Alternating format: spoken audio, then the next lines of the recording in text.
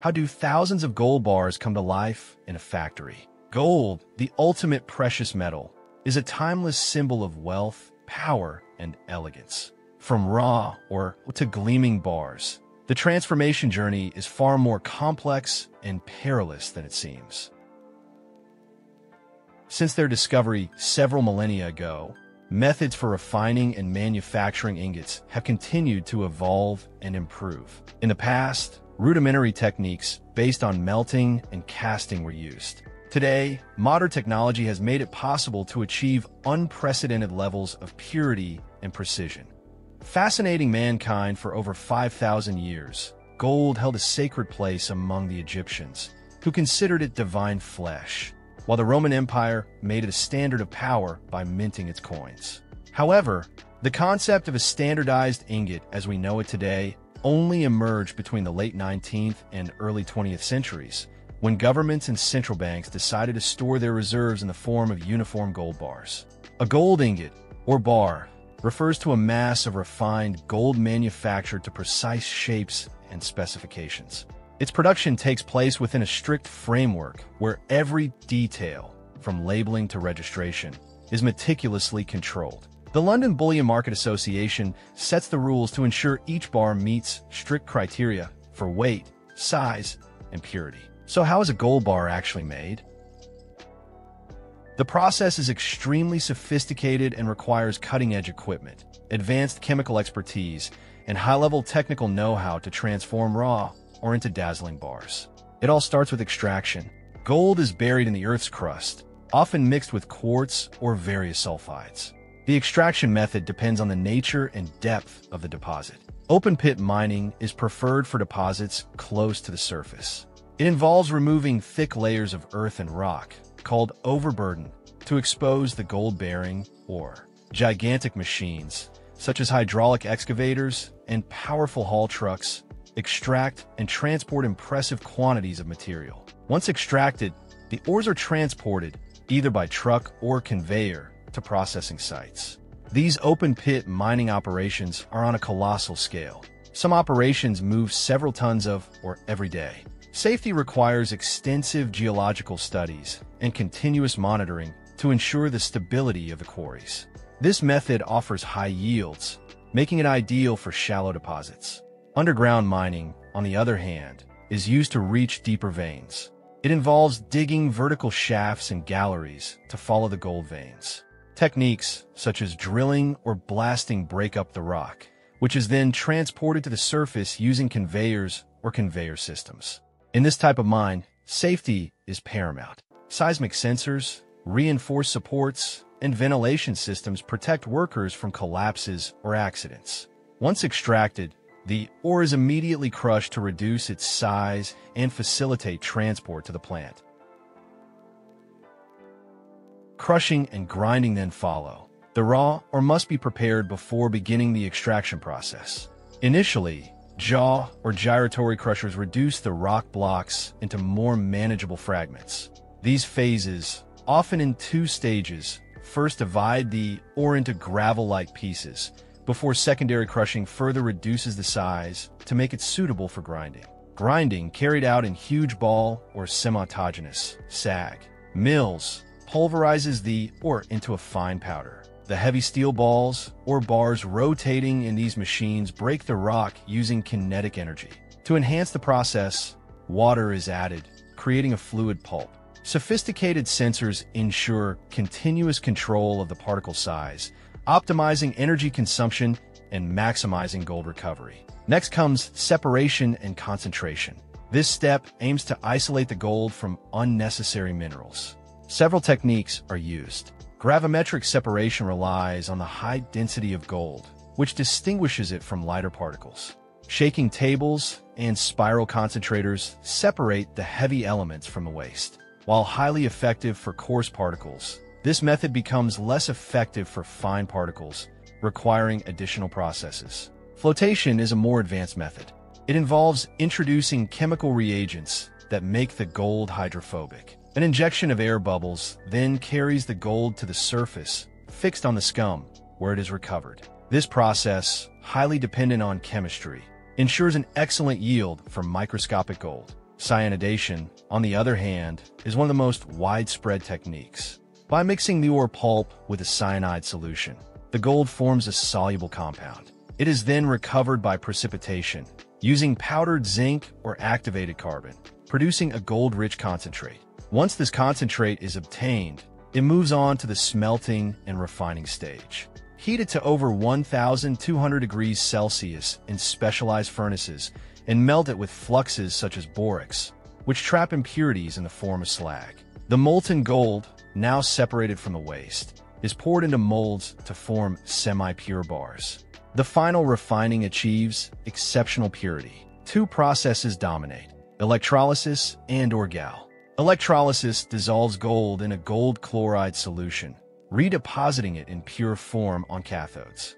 Orgal, a mixture of nitric and hydrochloric acid, dissolves the gold before it is filtered and remelted. These methods result in gold of 99.99% purity, meeting world standards. The purified gold is then remelted in induction furnaces and then poured into molds calibrated to international standards, including the London Good Delivery Bar.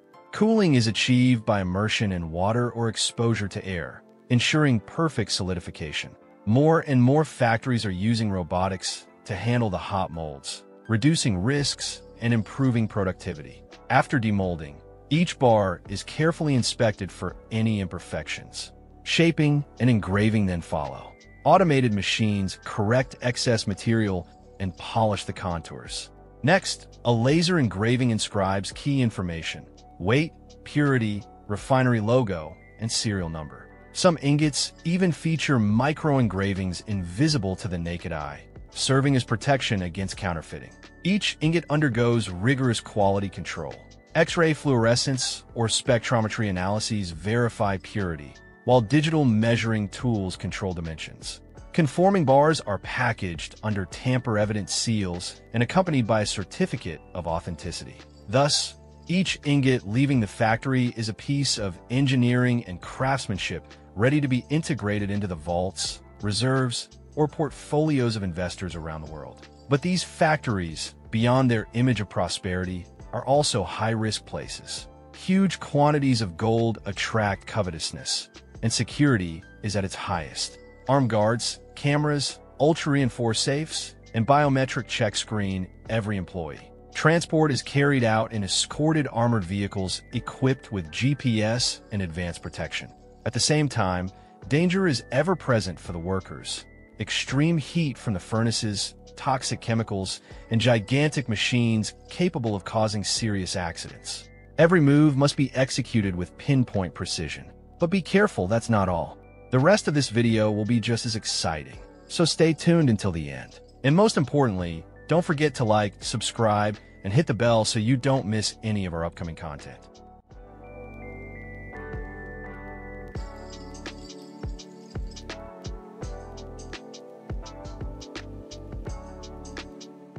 There are stories so incredible that they make you want to listen until the very end without even realizing it.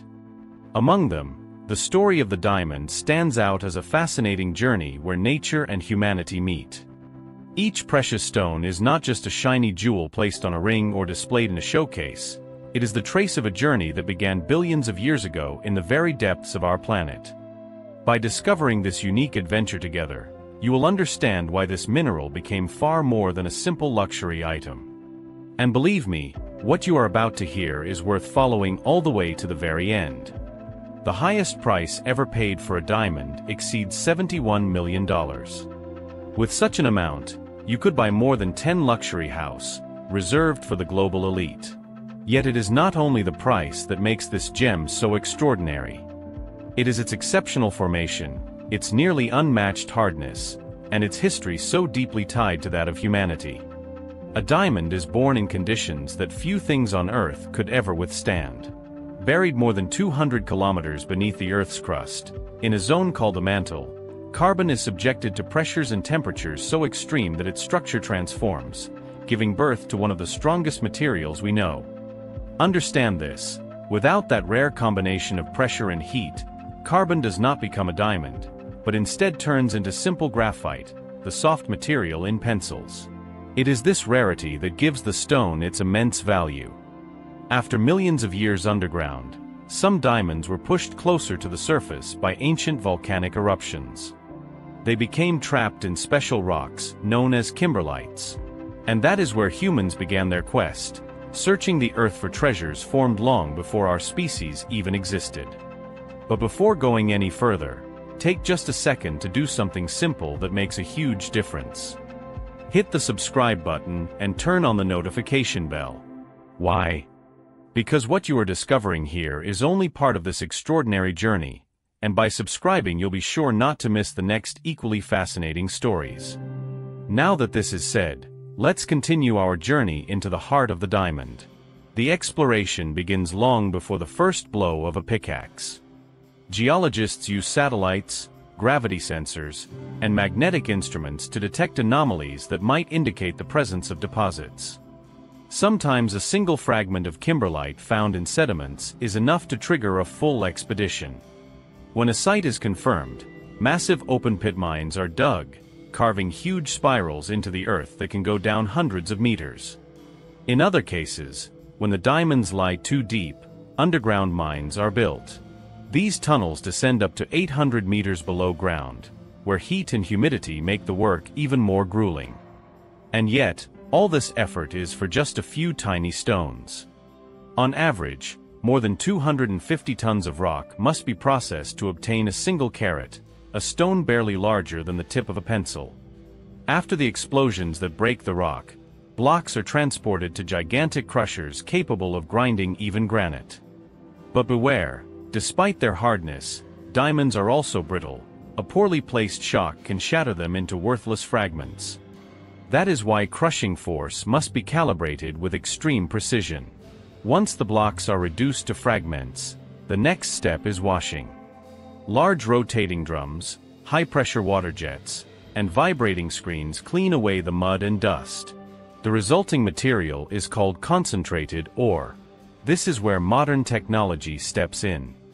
X-ray scanners detect the unique glow emitted by diamonds when exposed. In just a fraction of a second, a burst of compressed air ejects the gem from the rest of the flow. This method allows diamonds to be recovered with amazing precision and almost no loss. Then comes the sorting stage. Rough diamonds are classified by their size, shape, clarity, and color.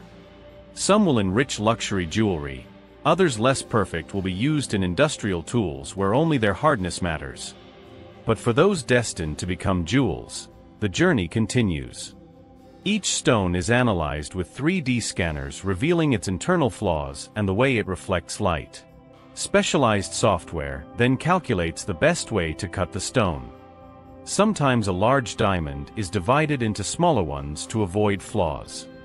Others, rare and pure, are left intact to become unique pieces. Cutting begins with powerful lasers, able to separate the stone along its most fragile lines without breaking it. Then, artisans use diamond-coated wheels to polish each facet. Only a diamond can polish a diamond. Every angle, every surface must be calculated with mathematical precision, because it is the perfect geometry of the facets that creates the famous sparkle. The process can take weeks, but the result is a jewel that shines with an intensity nothing else can imitate. Once polished, the diamond goes to specialized laboratories such as the GIA or the IGI. There it receives an official certification specifying its weight, color, clarity, and cut. A unique code is engraved with a laser on its girdle. This code, invisible to the naked eye, guarantees its authenticity on the world market. At this stage, the stone can finally join the jewelry workshops. There, prestigious houses such as Cartier, Tiffany, or Harry Winston craft the metal to create pieces that enhance the stone. A diamond is never alone. It is always accompanied by a setting shaped by human hands. But behind this dazzling side lies a darker reality. In certain regions of Africa, notably Sierra Leone, Angola, and the Central African Republic, men, women, and even children still mine diamonds by hand. In the mud without protection, sometimes under the control of armed groups, they dig for stones that will finance deadly conflicts. These stones are called blood diamonds, because they are paid for in human suffering. A jewel that can light up a glamorous evening sometimes hides a story of misery and violence. That is why traceability has become crucial. Knowing where a stone comes from allows us to choose not just an object of beauty, but also a more responsible symbol. And yet, the story of the diamond does not end there. Thanks to advances in science, it is now possible to create synthetic diamonds. With technologies like HPHT or CVD, researchers reproduce in laboratories the same conditions as in the Earth's mantle. The result is a stone identical in chemistry and appearance to a natural diamond. Some companies go even further by transforming the ashes of departed loved ones into commemorative diamonds. A moving blend of science and emotion that allows a memory to be kept forever. Thus, the diamond is both natural and now also human, a stone at the crossroads of two worlds. When you look at a diamond, you don't just see a jewel. You see a story, that of the earth, that of humanity, that of a symbol we ourselves have filled with meaning. A decisive turning point came in 1947, when De Beers launched the famous phrase, a diamond is forever. That slogan was not just a marketing success, it transformed the world's perception of diamonds. Since then, offering a diamond ring has become a universal ritual associated with eternal love. Entire generations have grown up with the idea that a diamond was not just a stone but a promise. Even today, the fascination continues. Whether at international auctions, in luxury jewelry stores, or in laboratories creating the diamonds of the future, this stone retains its unique status. The diamond is at once natural and cultural, scientific and emotional, precious and sometimes controversial. It is this contrast that makes it so captivating. So the next time you see a diamond sparkle, remember it is the fruit of an incredible journey, from the burning depths of the earth to the cold light of a showcase. And that journey deserves to be known, because behind every sparkle lies a story that connects geology, science, art, and humanity. If you enjoyed this story and want to discover more, don't forget to hit like, subscribe, and activate the bell.